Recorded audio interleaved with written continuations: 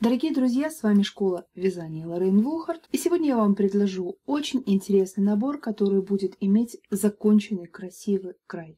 Этим набором можно как и использовать его в качестве набора и в качестве окончания вязания. Набор можно выполнить как одноцветным, так и двуцветным. Пряжей основного цвета выполняем набор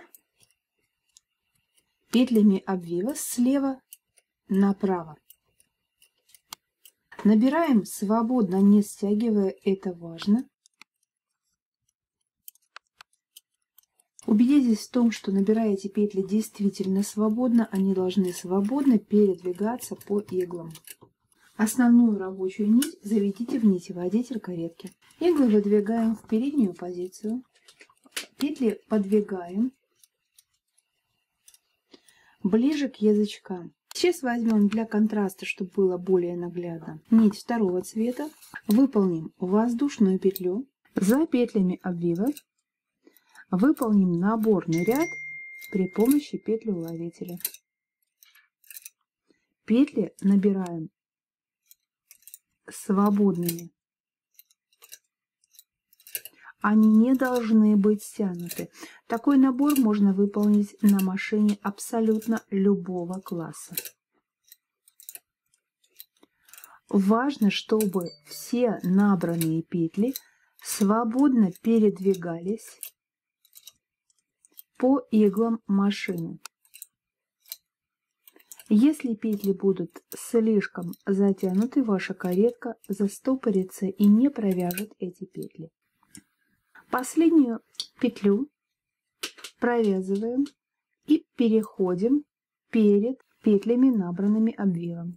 Движемся в обратном направлении. Условие то же самое, петли должны быть набраны свободно.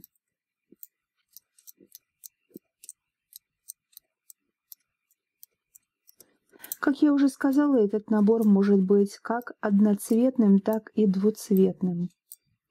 В общем-то, по своему желанию вы можете сделать его даже вообще четырехцветным. Но тогда придется прятать больше кончиков нити. Последнюю петлю навешиваем на последнюю иглу. Обрезаем нить. Все петли подвигаем к зубьям машины. С левой стороны я оставляла длинный конец рабочей основной нити. И точно так же свободно, не стягивая, набираем петли обвива. Четвертым слоем.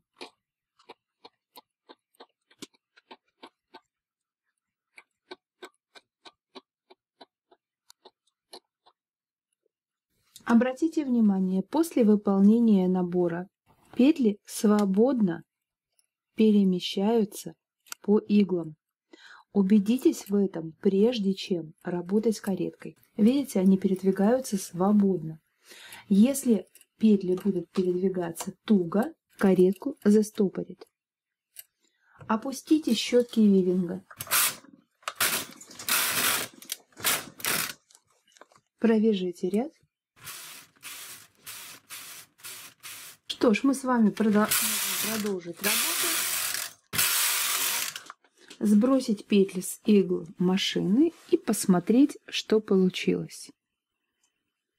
Мы получили шикарный, абсолютно законченный край, который никогда не будет скручиваться.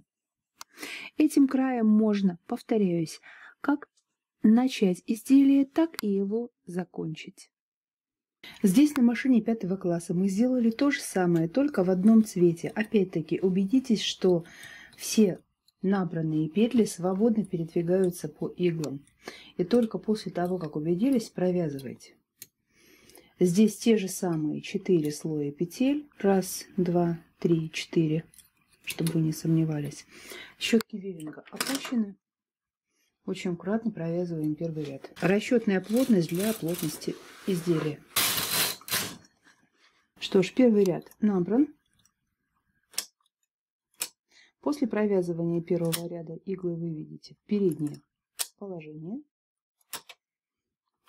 Если ваш первый ряд начинается с частичного вязания, те петли, которые будут в частичном вязании, введите их в позицию D.